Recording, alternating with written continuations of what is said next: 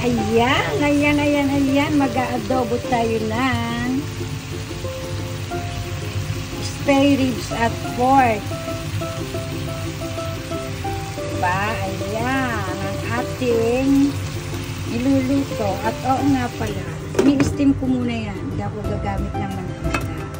At eto naman yung ating nilagang spare ribs pa rin guys. Nilagyan ko lang yan ng mga gulay. Ayan. Hmm. Luto na siya actually. Pinatay ko na yung apoy kasi baka malanta yung aking mga gulay. Kompleto na sa ricados yan. Hindi ko na lang pinakita at matrabaho. Busy-busy ako.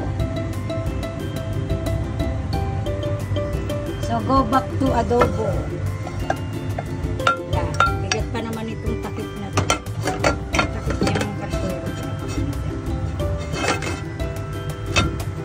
Ito, ini-steam muna natin yan bago natin isahan ng bawang sibuyas. At alam niyo na, ang hinahalo sa adobo ay simpleng-simpleng luto lang yan. Okay? Alright.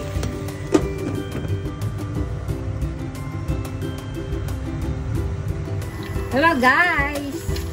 Ito na yung adobo at tinuloy ko na dahil nag-steam na siya, lumabas ang tubig so malambot siya. At nilagyan ko ng bawang at sibuyas, paminta, syempre. At itech. Ano yan? Pork. Yan na, baboy. Parehas baboy, spare ribs lang yung dalawa. Tapos, lagyan na natin siya ng toyo. Yan, toyo. So, instead na suka ang ilagay natin, come on. Hindi pa tayo.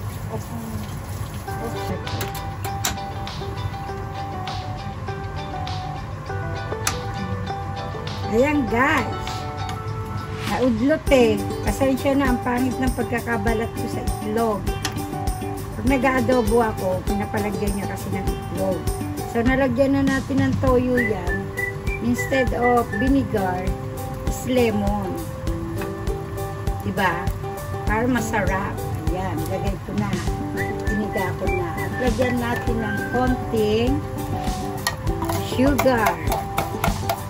Segunda mano lang ang kulay. Pero, nabuo ko. Lagyan lang natin ng ganyan lang pala. Yan.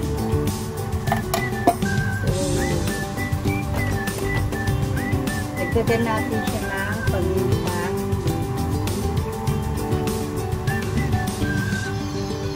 Yan, parang malasa. Konting batchin.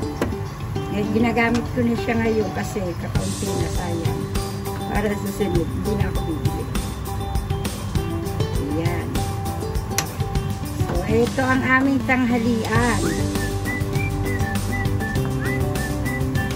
Supposed, supposedly late na aming lunch. Dahil no aga siyang nagising, hindi man lang nagsaing. Late akong nagising, ako pa nagluto. Di ba?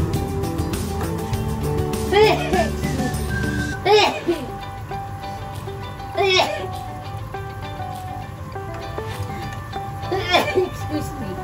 Nagsampay ako sa labas at napasukan na naman ng kapo ng aking ilong. Kaya binabahin-bahin ako. See? Ayan. Maalat siya. Kaya dagdagan natin lang. Dagdagan natin ng vinegar. Dahil wala na akong lemon.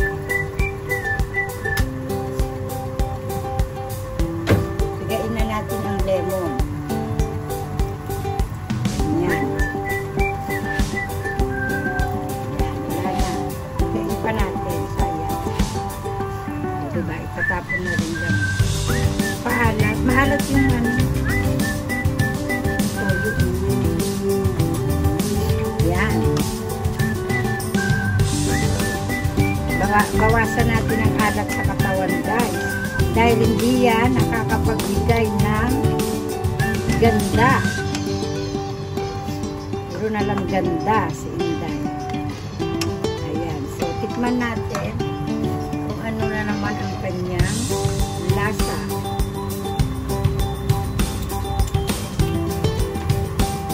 Masim. Tagan natin ang konti.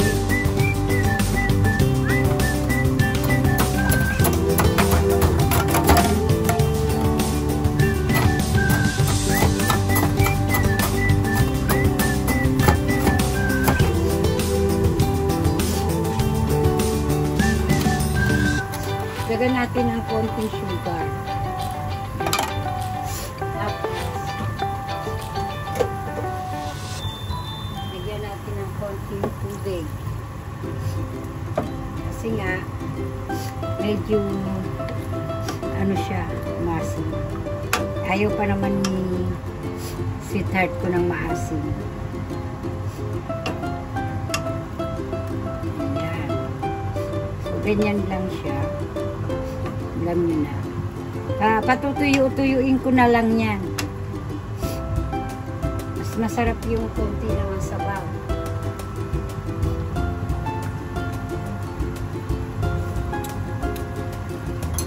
Ayun, okay na. Okay na dati. Ayan ang ating nilaga. At itich naman ang adobo. So, kainan na, luto na, pero late na ang aming lunch. Kaya, kain na tayo. Extra pa ang aking ko.